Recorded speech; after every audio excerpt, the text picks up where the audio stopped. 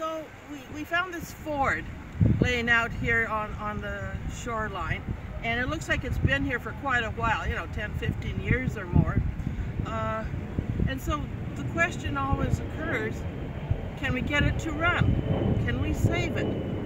So the first thing we have to do is, you know, check the points and see if, if there's any spark.